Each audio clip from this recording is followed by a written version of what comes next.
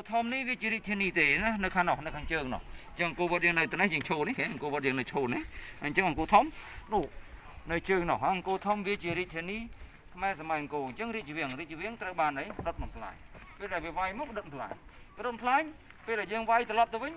ពេលដែលយើងពេលដែលវាត្រឡប់ទៅវិញយើងសាងសង់ទៀតមិនអញ្ចឹងណាពេលយើងសាងសង់ទៀតវាវាយមកទៀតវាដុតទៀតយល់ទេអញ្ចឹងបើកណាអាសៀមបំផ្លាញច្រើនលើកច្រើនសារអញ្ចឹងគេមិនអាចអឺ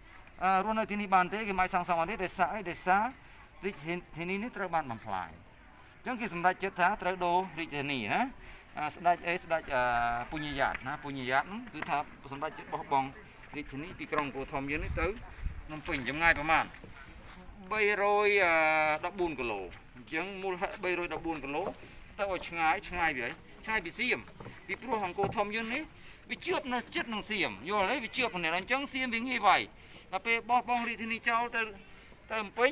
អញ្ចឹងអាទីក្រុងបោះអង្គរធំយើងនេះប្រាសាទអស់នេះវាត្រូវអាលេបតបាក់ដោយអីធម្មជាតិធម្មជាតិអីគេដើមឈើហ្នឹងអញ្ចឹងអង្គរវត្តយើងដើមឈើពីនេះមិនចេះទេណាអត់មាននេះបារាំងទេសម័យបារាំងពេលបារាំងមកបារាំងត្រូវអារក្សាប្រាសាទទាំងអស់អញ្ចឹងទៅបារាំងសម្រេចចិត្តថាកាប់កាប់ឆ្កាចេញណាអញ្ចឹងយកដើមឈើអស់ប៉ុន្តែបារាំងទុក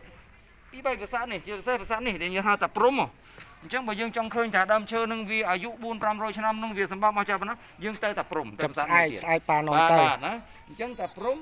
តែព្រំនេះបារាំងគេសម្រេចចិត្តថាមិនកាប់ដើមឈើដែលចាស់គេកាប់ដើមឈើដែលខ្ចីក្មេងបានន័យថាដើមឈើ100 200ឆ្នាំគេគេគេកាត់ចេញគេទុកអា4 500ឆ្នាំអញ្ចឹងគេទុកអាធំនឹងដើម្បីបញ្ជាក់ប្រាប់យើងថា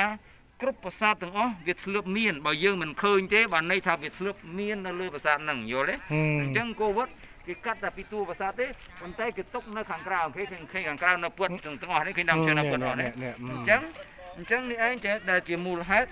ដែលដែលដែលប្រាសាទទាំងអស់នឹងវាមានដើមឈើនៅពីលើអញ្ចឹងតែព្រំបើយើងកាន់ដៃបើយើងកាន់ដៃ6 7នាក់បានបានមកជុំដូចដើមហ្នឹងដូចពោះថ្លាន់ធំមួយចុងធំមកខែស្អាតនេះណាស់